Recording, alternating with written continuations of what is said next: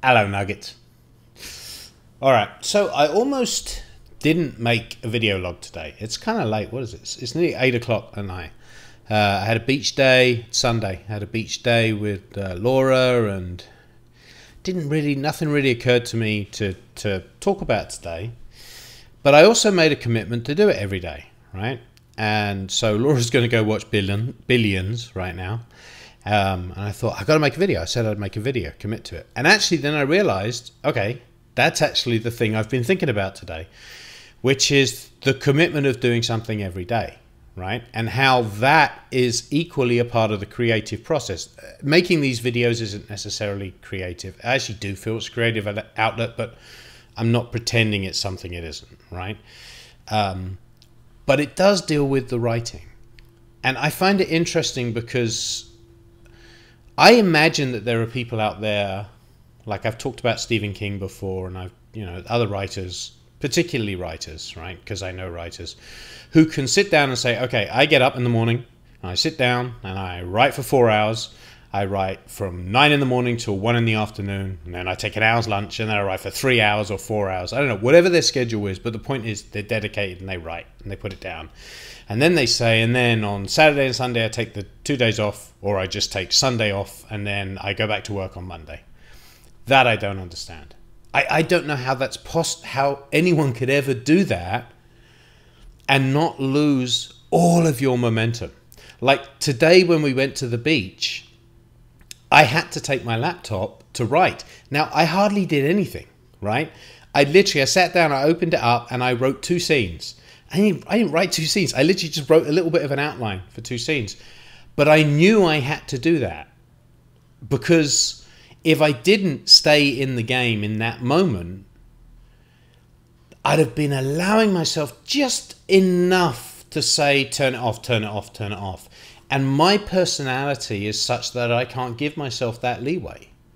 I, I have to be hardcore. And two scenes is not strict. I'm not kidding myself. It's not like I'm a fucking taskmaster. But I can't even give myself that break. I can't say, you know what, you've worked hard enough, you should get a day off. Because I'm I don't work hard enough during the week to allow that. The only way I can sustain any form of discipline is to say, well, the least you can do is commit to something every day, every day, without fail. Um, and so that's why I'm making this video, you know, because right now I realized if you're going to do it, even if you feel that you have nothing to say, start the camera rolling and talk. If it's crap, you'll turn it off and you won't post it, right? But today on the beach, when I started writing, I the only reason I started writing is because I said I can't do this. If I don't write today, tomorrow will be a little bit harder. When I wake up Monday morning at you know, and I'm like, I'm not going to have that energy of right, right, bye, babe, I got to go right it's going to be like, well, you didn't write yesterday. You can catch up. You can start a little bit later. That's when those are the triggers that start me unraveling. So if you're anything like me, if there's anything in the stuff I talk about that you're like, I kind of like that guy, or I am like, not I like that guy, I'm kind of like that guy. I see some of myself in him. I can tell you the one thing that works for me, and I haven't got it right because I screw up all the time, but the one thing that does seem to consistently work for me is that you have to do it every day. You do not get a day off. You know what? So, perfect example. When I have a regular desk job, when I'm working like it, when I used to be in development, I still am in, in game development. Uh, where's my last? When I was working at Naughty Dog, for example, I worked there for about 18 months. When I went on vacation, I think I took a two week vacation with there from there. When I came back after my two week vacation, it was a nightmare. Now, I know everyone finds it hard to get back into the saddle after a vacation. When I came back, I couldn't remember anything. I couldn't remember the software. And the, my stress level went through the roof when I got back. Within a month of getting back from my vacation, I needed a vacation because I was just like, I can't do this. I can't do this. I'm just not the kind of personality who can take a day off. Not because I'm a really hard worker, but because my mind doesn't work that way. I can't turn things off.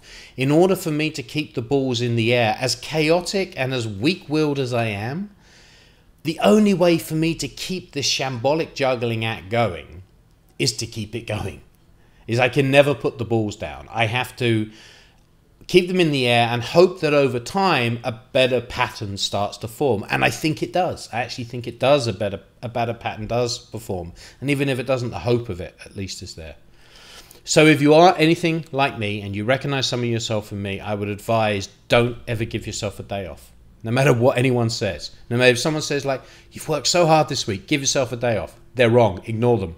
Fuck them they're wrong Sit down that day and write, even if it's for an hour, even if it's for half an hour. Open up that document, get your paints out, chip away at that piece of rock, do whatever it is you're doing. But every single solitary day, do that creative thing.